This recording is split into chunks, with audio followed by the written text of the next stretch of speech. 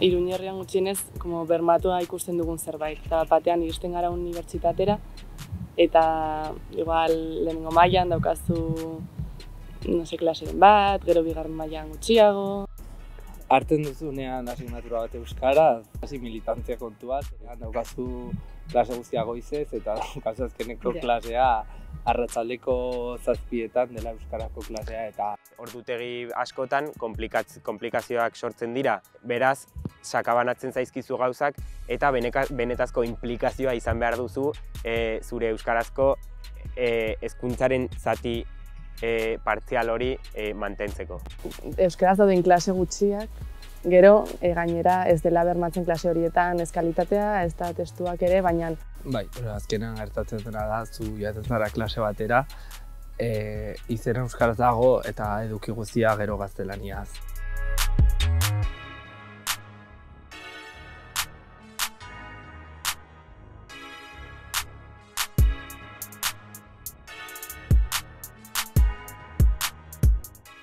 Zonifikazioaren legeak e, eragina dauka gure bizitzaren esparru guztietan, baina hezkuntzan ikusgarria da daukan eragina. Nafarroa hiru eremuetan banatuta dagoenez, ba, jaioterriaren arabera ikasleek eskubidez berriak dituzterako.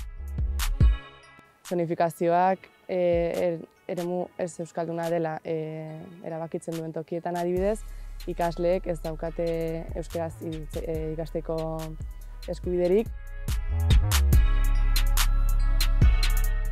lapurreta bat bezala irudik eta dezakegu, ez? E, zonifikazioak eragiten duena da jendartearen zati bati galaraztea gure hizkuntza ezagutzea, gure kultura ezagutzea eta hori da uste dut erregimenak urteetan jarraitu duena eta hori da e, ba, horrela islatzen da egin dituzen politiketan, ez? Euskara ezabatu nahi izan dute.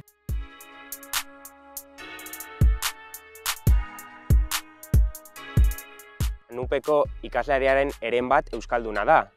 Baina e, haren hizkuntza plana, haren euskarazko edapen hizkuntza plana, ez zaio horria txikitzen, e, zuzendaritzak e, minimo, minimo konkretu batzuk jartzen dizkio bere buruari, bale, aurrera eramaten ditu, baina ez du euskararen ikaskuntza e, e, eskubide bat bezala ikusten.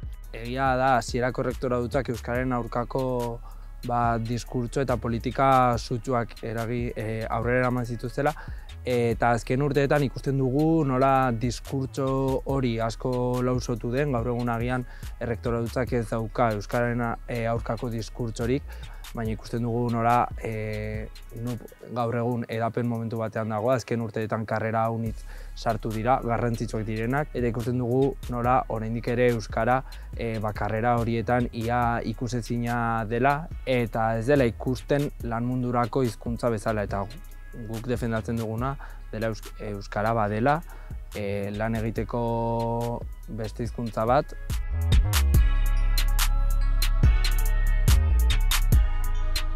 funtsean nahi duguna da Euskara lehen mailako hizkuntza bezala hartzea eta kontuan izatea eta lehen lerrora eramatea arlo guztietan. Bai kredituen igoera eta e, bukaeran edo guztizko hezkuntza euskalduna bermatu, bermatua izatea, e, material akademiko aldetik, irakasleen plantilla aldetik,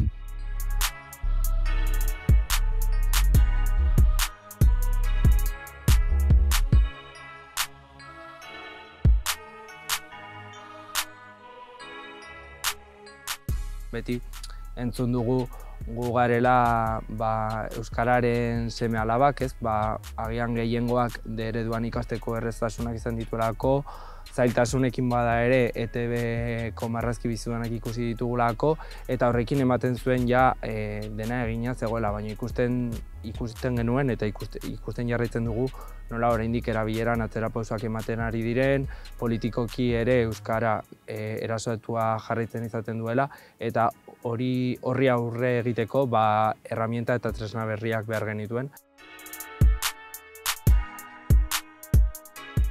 martxaren hogeita iruan, Ego Euskal Herriko lau iruburuetan greba deitu dugu, bai institutuetan, bai unibertsitateetan. Euskal Herria Euskalduntzeko prozesu horretan ikusten dugulako beharrezkoa ere hezkuntzan aldaketa sakonak ematea, egiturazko aldaketak ematea, gure hezkuntza sistema Euskalduntzea beharrezkoa da.